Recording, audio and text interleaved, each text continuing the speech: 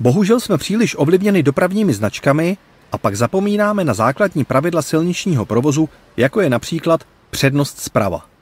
Řidiči si často myslí, že když jedou rovně, mají přednost.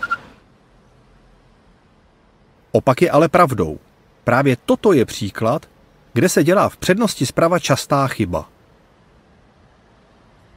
Auto přijíždějící po pravé ruce má přednost.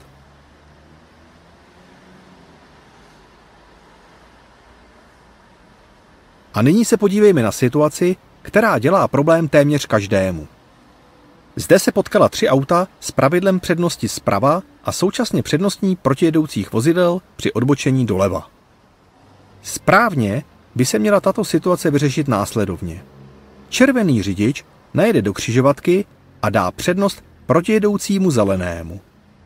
Zelené auto ale musí dát přednost modrému, protože to přijíždí vůči němu zprava.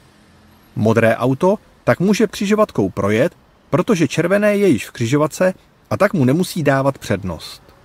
Následně projede zelené auto a jako poslední dokončí odbočování červené auto.